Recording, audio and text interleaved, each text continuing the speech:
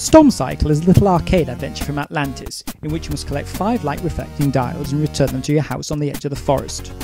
The game runs in mode 5 and it's very fast. In fact, it's so fast that you often find yourself running headlong into baddies or bits of fire before you've even clocked that they're there. A feature of Stormcycle is that the baddies follow you from room to room, so just running away from them isn't going to help.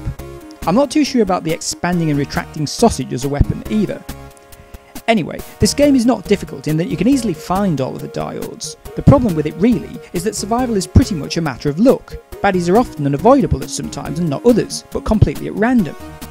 The things that look like giant teddy bears are transporters. Standing in front of them and pressing P moves you around the different areas. Some of them take you to dead ends and need to be avoided completely.